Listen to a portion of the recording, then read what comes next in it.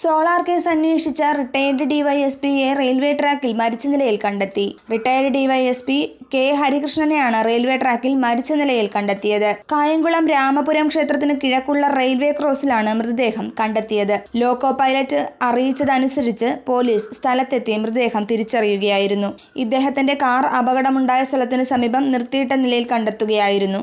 ഹരിപ്പാട് സ്വദേശിയായ ഹരികൃഷ്ണൻ പെരുമ്പാവൂർ ഡിവൈഎസ്പി ആയിരിക്കെയാണ് സോളാർ കേസിൽ അന്വേഷണ ഉദ്യോഗസ്ഥനായത്. അന്വേഷണവുമായി ബന്ധപ്പെട്ട് നിരവധി ആരോപണങ്ങൾ ഹരികൃഷ്ണനെതിരെ ഉയർന്നിരുന്നു.